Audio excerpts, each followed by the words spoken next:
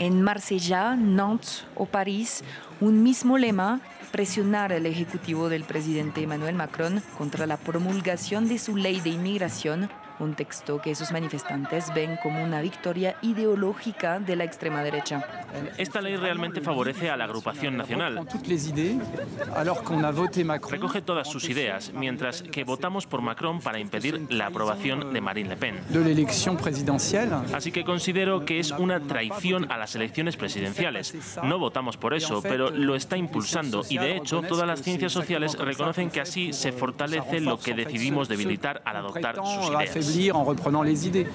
El proyecto de ley inicial se basaba en dos componentes, uno represivo para los extranjeros considerados como delincuentes y el otro promotor de integración pero el texto incluye ahora muchas medidas controvertidas, como restringir el acceso a las prestaciones sociales, establecer cuotas migratorias y restablecer el delito de residencia ilegal.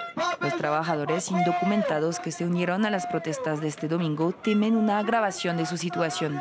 Eh,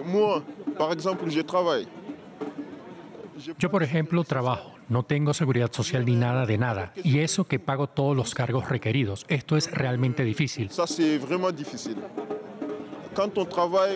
Cuando trabajamos podemos ser maltratados porque tenemos miedo de perder los trabajos que tenemos.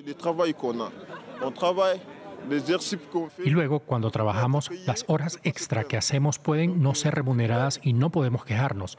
Te quejas, te despiden, te vas. Esto no es normal.